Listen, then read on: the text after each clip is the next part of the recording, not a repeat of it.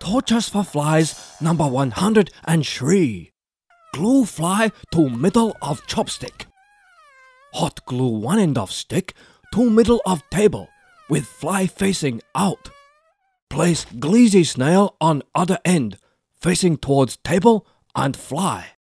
Drop handful of fresh lettuce on table. Snail spy lettuce and make slow painful dash towards dinner. Snail usually harmless, but nothing get between them and taste of lettuce. Confucius say, to obtain all in life, one must tread on many head.